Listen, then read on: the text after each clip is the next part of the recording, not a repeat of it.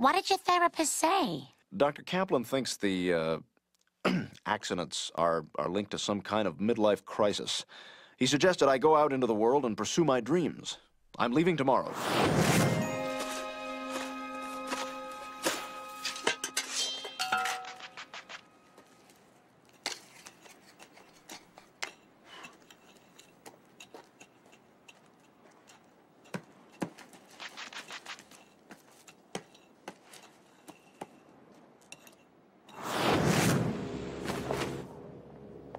Whoops, whoa, whoa, whoa, hang on, hang on. I gave you one of the ones with silverware in it.